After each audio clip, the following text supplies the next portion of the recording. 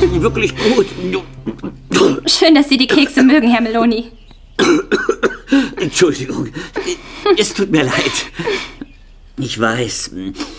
Ich weiß, dass ich manchmal etwas komisch bin. Und das nicht immer mit Absicht.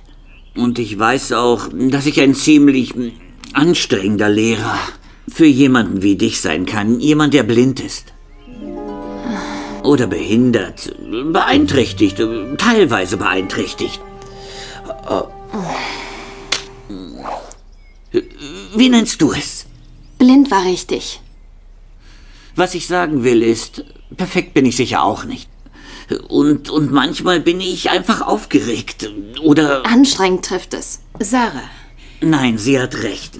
Sehen Sie, wir sollten alle ehrlich sein. Sarah ist sehr willkommen, sehr willkommen in ihrer alten Schule. Und äh, es wird sicher Zeiten geben, in denen wir nicht unbedingt einer Meinung sind, aber... Aber wenn du dieses Dokument unterschreibst, Sarah, dann wird es ein Abenteuer sein. Für uns alle. Aber wenn du dich nicht hundertprozentig auf dieses Abenteuer freust, dann, äh, dann solltest du dich lieber nach einer anderen Schule umsehen. Tut mir leid.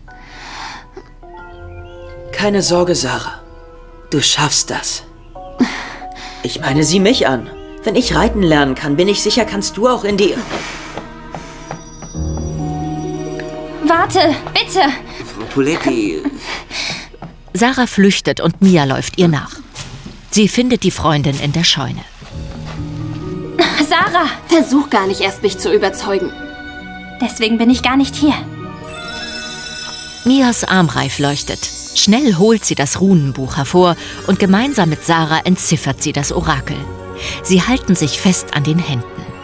Scheinen auch die schlimmsten Gedanken und Träume zu werden, wahr? Du bist nicht verloren, solange dein Herz ist nah.